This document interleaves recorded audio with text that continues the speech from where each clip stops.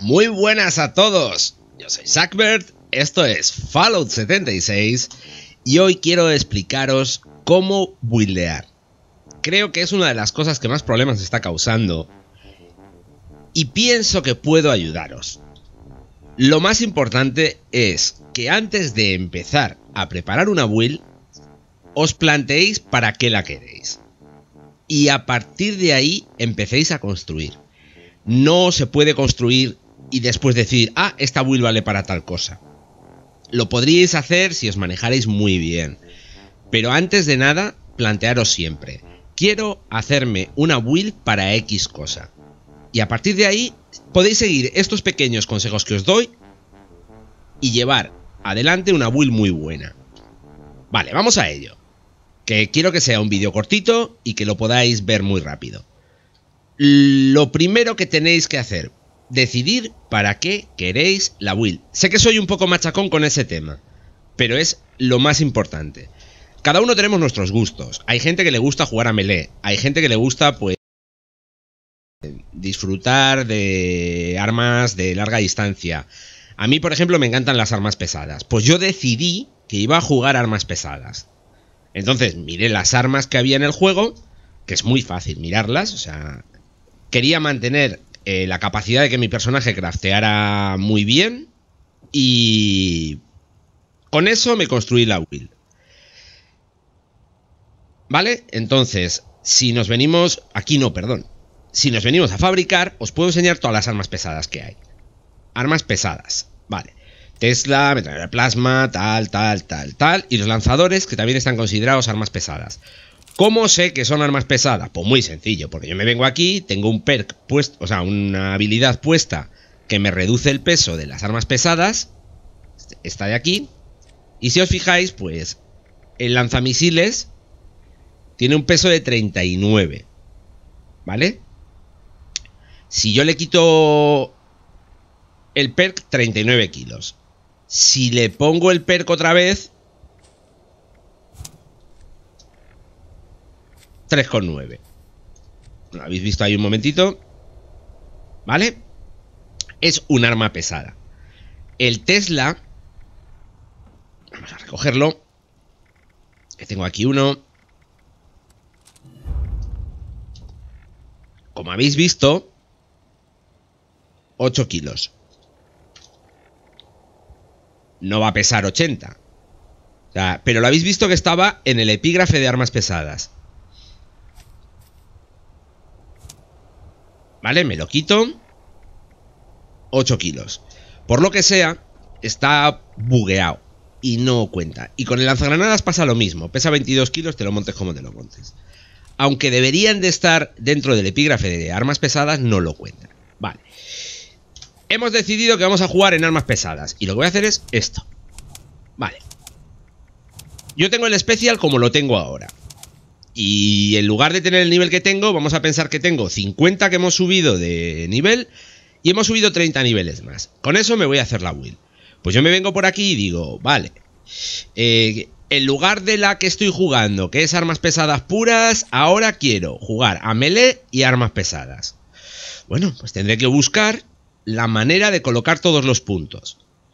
Pues me interesa llevar esta de aquí, me interesa llevar esta de aquí, necesito llevar esta de aquí porque el peso de la munición explosiva es muy alto. Con lo cual llega hasta 9 puntos. Pues solo me quedan 6. Entonces, quiero llevar 6 eh, puntos en habilidades de, de daño. Pues eh, como las armas pesadas las voy a seguir llevando. De momento pongo 3 y luego pues me cogería pues una de melee a 3. Vale, ya he distribuido los puntos. No es la forma más eficiente de hacerlo eh, lo que acabo de hacer. Y lo sé. Porque si os fijáis, 3 puntos puestos así es un 20% de daño. Sin embargo, si yo los colocara de esta manera, si sumamos las dos cartas, aquí tendría un 15 y aquí tendría un 10. Es un 25. Pero si voy un paso más allá y me compro un punto más Eh, eh, a ver. Coste 1, suerte, agilidad, inteligencia, carisma, resistencia, percepción, fuerza. Y ahora me voy a comprar un punto en... No me acuerdo si era... Ay, tengo la memoria muy mal, ¿eh? Yo lo mío empieza ya a preocuparme. Eh, me tengo que comprar un punto en gladiador experto y un punto en gladiador. Para explicaros lo que os quiero explicar. Como veis, una vez que pasas del nivel 50, te da a elegir entre cambiar un punto de especial o elegir un extra. Hasta este momento hacíais las dos cosas. Hasta nivel 50 colocáis un punto de especial y os deja coger una carta de ese especial. A partir del 50 os deja coger cualquier carta o poneros un, o sea, modificar la distribución de los puntos de especial. En mi caso, pues vamos a coger una carta. Podría haber ido al revés. ¿Vale? O sea, necesito un punto en gladiador y un punto en la siguiente de gladiador. ¿Vale? Que es gladiador experto. Esta. Vale, acordaros que teníamos un 25%. No, no las quiero combinar. Teníamos un 25%. Nos quedan tres slots. Nos venimos aquí y cogemos la de uno que nos da un 10%. La de experto que nos da un 10%, pero cogemos la de uno. Y cogemos la de maestro que nos da un 10%. Vale, pues con tres puntos, en vez de conseguir un 20%, hemos conseguido un 30%. Vale, y ahora podríamos hacer lo mismo con artillero. De hecho, lo vamos a hacer. Para que lo veáis bien. Y con esto tendríamos una build dual. Dual, eh, yo me refiero a que la estaríamos empleando para dos cosas con el mismo stat. ¿Por qué lo machaco tanto el tema de dos cosas con el mismo stat? Pues porque muchas veces podríamos ponernos los nueve puntos en varias cosas y no necesitar hacer esto. En el caso, por ejemplo, de las armas pesadas y la. Eh, y el melee, sí que precisamos de colocar los puntos de esta manera. También yo he cogido los reductores de peso. Ojo, si no cogéis los reductores de peso porque gestionáis muy bien lo que lleváis encima, podréis eh, incorporar más cartas de daño. Y ahora no me acuerdo, me falta esta de comprar. ¿Veis que tengo la de 1 y la de 3? Vale, pues ahora me compro esta, la del tanquecito. Yo me acabo quedando con los dibujos, ¿eh? O sea... Mm, aceptar. ¿Vale? Y con esto tendríamos 1, 1, 1. Bien. Hemos perdido un poquito de daño con respecto a lo que teníamos al principio, que sabíais que yo tenía ahí metidos 9 eh, puntos. Vale. Eh, pero hemos querido hacer una build que manejara armas pesadas y eh, melee a la vez. En este caso, por ejemplo, yo creo que sobraría el artillería express. Llevaríamos menos munición y ya está.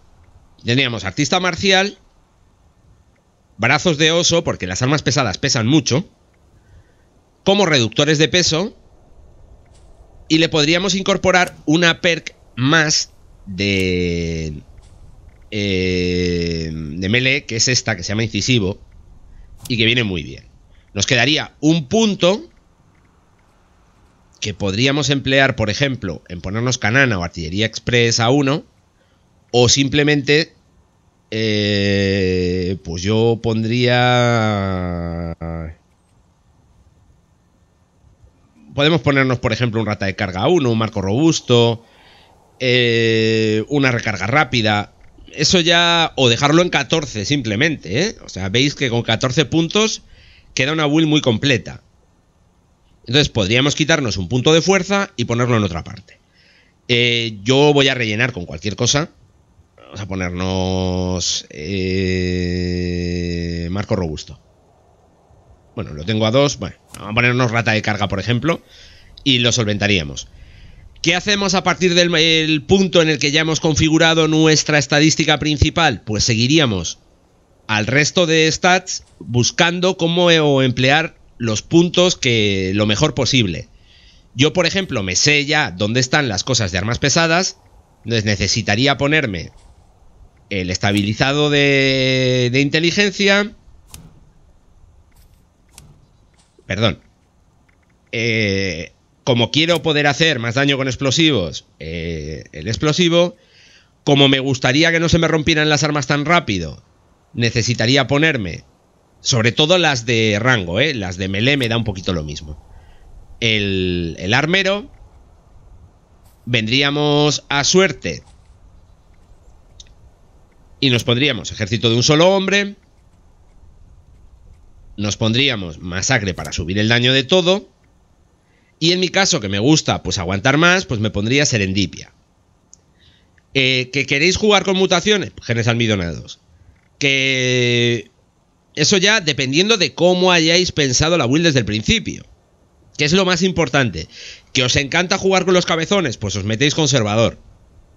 Así de sencillo. Que... Yo qué sé. Eh, que lleváis mutaciones, pues necesitaréis los de bicho raro de clase de clase, que vais con gente que todos lleváis mutaciones, pues montáis la will. Eso lo haremos otro día. Pero sobre todo, muy importante, buscar la configuración del stat principal que vais a llevar. En este caso, pues en, mi, en el mío es fuerza e inteligencia para sacarle el mayor partido posible. Yo lo he configurado ahora para melee y armas pesadas. Eh, si lleváramos, por ejemplo, rifles y pistolas, Estaríamos hablando de una build que tira de percepción y agilidad. Si lleváramos eh, solo armas de melee, pues lo cargaríamos en fuerza también. Buscar lo que necesitéis. Eh, a partir del nivel 50 lo tenéis muy fácil. Habéis visto lo que yo he hecho. Si vosotros simplemente le dais a elegir extra, os podéis venir a elegir extra sin tener que recogerlo, ojo. Y si le dais a filtrar, podéis moverlo con la Z y la C, podéis ver todas las perk. O sea, todas las eh, habilidades. ¿Vale? Con eso eh, no hay problema. Aquí, por ejemplo, encontraríamos todas las habilidades de melee, desde bloqueador, pues a incisivo, artista marcial, las de escopeta, por ejemplo, estarían aquí también. Eh, armas a dos manos y arma a una mano habilidades para servo, habilidades para armadura normal. Ojo, esta no vale para la servo, es para la armadura que lleváis debajo. Tendríamos por aquí mulo. Bueno, habría una serie de skills que nos podrían venir muy bien. Eh, lo mismo, pues. Si en lugar de elegir fuerza os vais pues a percepción, veréis que están todas las habilidades de rifle, automáticas por aquí.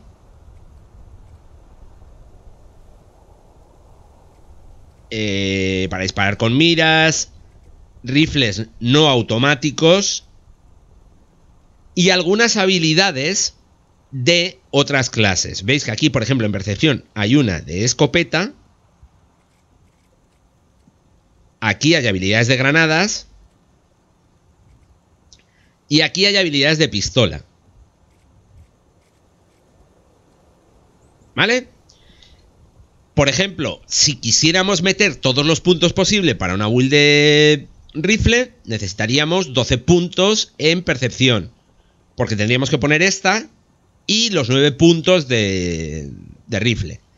O podríamos poner una will híbrida que llevara eh, 3 puntos colocados por el sistema de 1, 1, 1. Y luego eh, ponernos tres puntos en esta para mejorar todos los rifles. Esta afecta a todos los rifles, automáticos y no automáticos. Tenéis que mirar muy bien a qué afectan las, eh, las habilidades. Y sobre todo, también hay que mirar muy bien la progresión de una habilidad. Para eso hay que comprar un nivel. Siempre hay que comprar un nivel. No os va a permitir mirarlo si no lo compráis. Pero con la X, yo abro la habilidad y me dice eh, un 10%, un 15%, un 20%. El primer nivel me da un 10%, los siguientes me dan un 5%. Y solamente vale para un tipo de arma. Para eso me compro esta habilidad que me da un 5%, un 5% y un 5%. Y vale para todas las armas que pueda equipar. En este caso me valdría para explosivos, me valdría para melee y me valdría para las armas pesadas. Por eso, por ejemplo, esta habilidad en builds que son muy específicas no es tan buena, pero en builds que están más abiertas sí que lo es. Más cosas que os puedo comentar sobre cómo buildear. El cambio de perks. Hay dos puntos en los que yo nos recomendaría poneros menos de 3. Porque os puede venir menos de 3 y un punto en el que nos recomendaría poneros menos de 4. De hecho, aquí lo podéis ver. Yo no empleo percepción en esta build. ¿Vale? Entonces, si os venís aquí... Uy, torpón, torpón.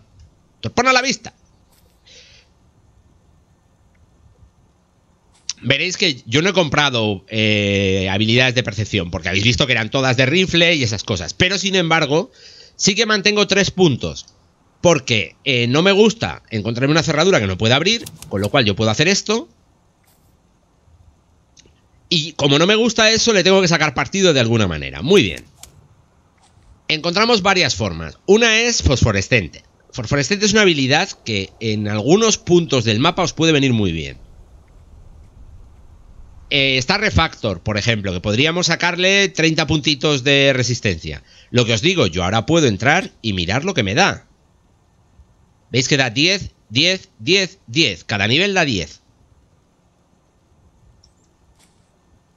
Esta vigilancia, esta habilidad, nos permite saber un bicho con qué debemos atacarlo. Y veis que con lo que yo llevo puesto ahora puedo elegir con facilidad golpear con armas energéticas, golpear con armas de melee, eh, pegarle con un arma de proyectiles normal, con una contundente, con una afilada, con... Puedo elegirlo muy bien. Entonces, esta habilidad a mí me viene perfecta. Pero, y aquí viene el punto más curioso, yo sin embargo suelo ir equipado así. Porque si estás explorando, estas tres habilidades vienen muy bien. Resistencia. Pues aquí ya cada cual. Hay mucha gente que va cambiando los perks de, eh, perks de día y perks de noche. Son habilidades que funcionan en rangos de horas, pues de 6 de la mañana a 6 de la tarde. Yo a mí eh, personalmente esa parte del buildeo no me la vais a ver porque no me termina de gustar y es un poco complicada de hacer. Pero si os fijáis, por ejemplo, podríamos jugar con bronceado que nos hace recuperar eh, la radiación de día. Eh, podríamos jugar con... a ver, ¿dónde había otra? ¿Ves? Solar de 6 de la mañana a 6 de la tarde más una fuerza y más una resistencia. Llegará hasta más 3 más 3. Pues jugando con esto y algunas otras habilidades se pueden crear builds que funcionen, ¿ves? Por ejemplo, de no, toda la noche. Mm, no, esa no es de esas. Se puede jugar con eso. Eh, a mí no me gusta. Si, por ejemplo, hubiéramos eh, preparado una build para eh, maximizar el, efecto de los psicostats o del papito o de cosas así, pues lo haríamos con resistente a las drogas, tal. A mí, como eh, que nos molestan muchísimo las enfermedades, pues nos ponemos vacunado y otra que hay por aquí y con eso pues tiraríamos ya que no nos podríamos poner enfermos. Eh, a mí no me molesta. Entonces yo eh, empleo 7 puntos porque me gusta llevar puesto vitalidad y me gusta llevar el esqueleto de adamantio. Por comodidad propia, ojo, ¿eh? aumento el pool de vida, con lo cual otras cosas que llevo puestas en la armadura y en mis servos eh, hacen que funcionen mejor. Y combinando todo, porque a partir del punto en el que ya empezáis a afinar una build, tenéis que combinarlo todo. O sea, las armas, las habilidades, el especial y vuestra armadura. Porque aunque parezca una tontería, cuando empecéis a jugar ya bastante, vais a empezar a coger puntos como estos, ¿vale? Entonces, una build de apoyo, por ejemplo, no necesita llevar 16 puntos en carisma. No hace falta. Podéis disparar el carisma de otras maneras. Y currándoslo muy poco, ¿eh? O sea, mirar esto. O sea, yo no puedo ahora mismo compartir con alguien cartas de más de un punto. Pero sin embargo, si hago lo que vais a ver ahora y me compro a ver, carisma personalidad carismática Vale, me compro, me la, voy a comprar las dos, ¿veis? Uno y uno, o sea, es una carta que incrementa linealmente. Vale, con esto tendríamos dos puntitos en carisma. Que parece una tontería. O sea, perdón, dos puntitos en esa carta. Y ahora la, por ejemplo, eh, yo voy y la equipo.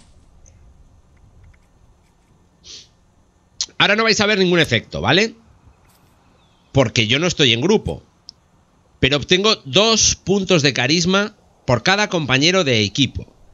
Muy bien, los grupos son de cuatro. Tendría tres compañeros. Ganaría 6 puntos de carisma. 6 y 4, 10. Ya puedo compartir cartas de 3. Podría estar compartiendo pues, un artista marcial, o compartiendo un estabilizado, o compartir masacre. O ejército de un solo hombre, o, por ejemplo, lo que llevo en agilidad, que me va a servir para explicaros el último punto que os quiero contar hoy. En una will tenéis que pensar en dos cosas. Por un lado, cuánto voy a hacer de daño, que eso lo pensamos todos, por lo que he podido ver, esa parte la lleváis muy bien. Y ahí, eh, cuando os explique eh, builds en detalle, que lo voy a hacer, eh, no me voy a parar a pensar tanto. Porque eso estoy viendo que lo sabéis hacer muy bien. Pero sí que me voy a parar a, explicaros otra cosa completamente distinta. Y es que en cualquier juego en el que hay PvP o en el que os pegáis con bichos, hay dos partes. Una, cuánto daño les podéis hacer. Y dos, cuánto daño vais a aguantar. Si os fijáis, por ejemplo, aquí hay una perk que yo la llevo a uno, pero que la tendría que llevar a tres. Y esto es un error que yo tenía en mi build. Silenciador reduce durante 2 segundos el daño que hace el objetivo un 30%. Ablandador hace lo contrario, causa más daño. Pero si os dais cuenta, silenciador funciona en 10, 20, 30 de forma lineal y ablandador no es lineal. Gana un 5% al principio, pero después solamente gana un 1%. Yo llevo puestos 3 puntos en una habilidad que tendría que llevar a 1 y un punto en una habilidad que tendría que llevar a 3. ¿Por qué? Porque me centré, como, como hemos hecho todos, en hacer el mayor daño posible. Y no me di cuenta de que en este juego hace falta también reducir el daño. Entonces, con silenciador a 3 y ablandador a 1, lo vamos a comprar para que lo veáis. Tan sencillo como venirnos aquí,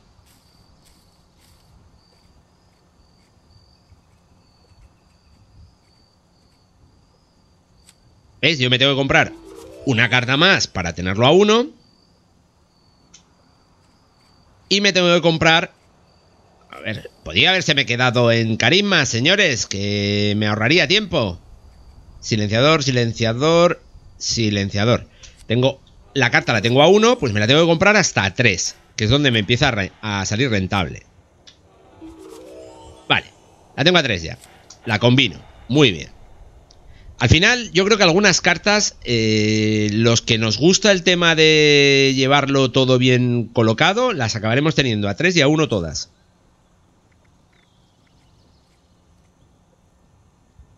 Para poderlas combinar dependiendo de la situación. Vale, y ahí me pongo el ablandador. Vale. Ahora, ¿veis la diferencia, verdad? He perdido un 2% de daño y ganado la capacidad de reducir el daño del enemigo un 20%, eh, un 20 más. Cambiar un 2% de daño por una reducción de daño del enemigo de un 20% es una barbaridad. O sea, si le sumo, por ejemplo, plantearos por un momento, a mí me disparan. Vale, yo devuelvo el fuego. Sería un inicio de PvP normal y corriente. Y a partir de ese momento nos empezamos a pegar. Bien, yo estoy consiguiendo que el objetivo haga un 30% menos de daño. Muy bien. Evito un 30% del daño recibido a cambio de 30 puntos de acción. Yo no empleo los puntos de acción para nada más. Bueno, para moverme un poco cuando sprinto. Pero si me estoy pegando, normalmente con mi build de armas pesadas estoy disparando estático. Por aquí veis, ejército de un solo hombre. Os la voy a ampliar para que la veáis. Desequilibro y tengo capacidad de incapacitar. Oye, si el otro no lleva el esqueleto de adamantio, pues le puedo hacer un Cristo. Pero es que además yo me pongo esta otra. Cuando la salud es inferior al 30%, obtengo un 45% de posibilidades de, evitar el daño. Pero entonces, eh, cuando me bajan la vida por debajo del 30, le va a costar matarme un montón. Pero es que además mi servoarmadura lleva un módulo que hace que sea más duro a partir del... cuando me bajan la vida. Y es que además eh, podéis equiparos otra serie de cartas que os reducirán el daño o harán que seáis más difíciles de matar. Por ejemplo, yo durante mucho tiempo he llevado, en vez del estabilizado, esta carta. Entonces, cuando llego al 20, cuando mi salud es inferior al 20%, obtengo más 40 de resistencia y un 20% más de daño. Hostia, y es que además regenero la PA eh, más rápido, que como la estoy convirtiendo, perdón, en una reducción de daño, pues aguanto más. Es lo que os digo, eh, yo he mirado y he elegido llevar cartas que fueran para aumentarme el daño y cartas que de alguna manera me dieran reducciones de daño. Combinándolas, pues por ejemplo, mis puntos de... se regeneran más rápido. Aquí se regeneran más rápido, pero es que los, transformo en una reducción de daño. 30% por aquí. Más 30% por aquí. Más de vez en cuando evitarlo todo. Más la armadura. Más tal. Más me subo la vida para tener 45% más. Ignoro no sé qué. Eh, combináis todo y creáis una will. Crear las wills tanto por la parte ofensiva como por la parte defensiva. Y combinando partes de vuestra eh, stat principal con pequeños, eh, pequeñas pinceladas en el resto de las habilidades, en el resto de las características, al final obtenéis una build. Yo os he puesto el ejemplo con la. con. así un poco por encima. Eh, prepararé un vídeo explicando bien, bien, bien, bien algunos tipos de builds. Y chicos, voy a cortar ya porque me he alargado más de lo que pensaba y espero que este vídeo os pueda servir para dejar vuestros personajes niquelados y que sean más efectivos en Fallout 76. ¡Chao y nos vemos! ¡Qué tostón les he pegado pobres!